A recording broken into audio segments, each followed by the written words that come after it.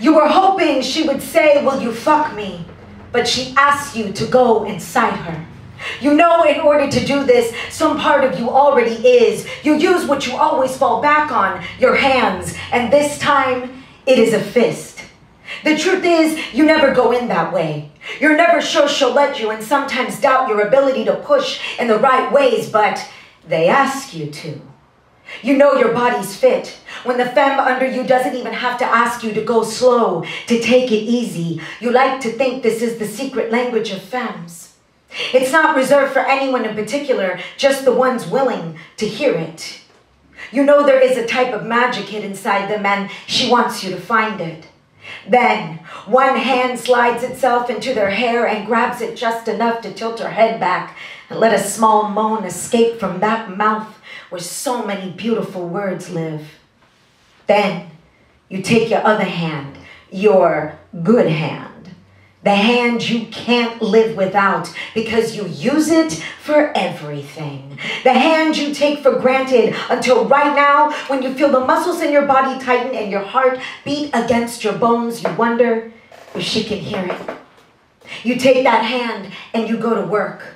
It makes its way inside and their face changes and she opens for you like pages and water and she allows more of you to enter them and you can't help for a split second think of all the ways and all the people that have been where you are right now.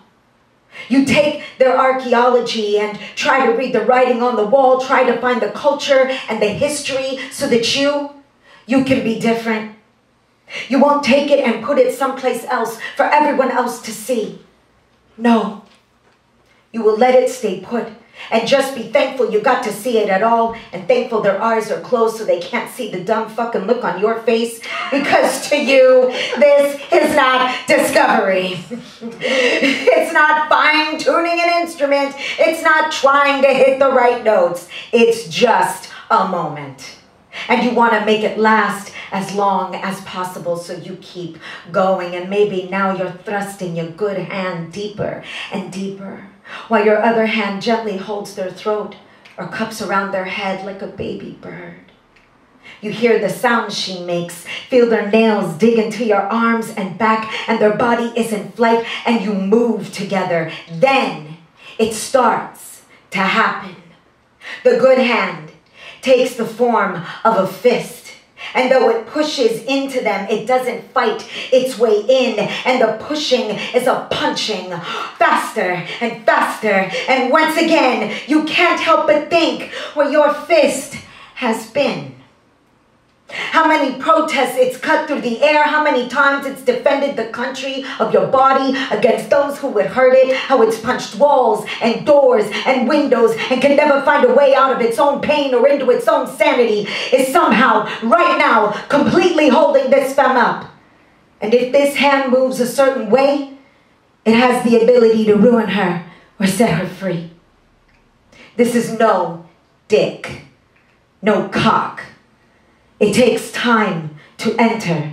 You have to forget yourself so you can practice the lost art of listening, not to their breath, but to their want.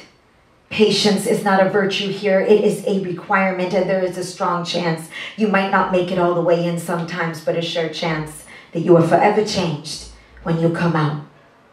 And their mouth, that is usually so full of words, only manages to let one of them out. Fuck. Fuck. Fuck.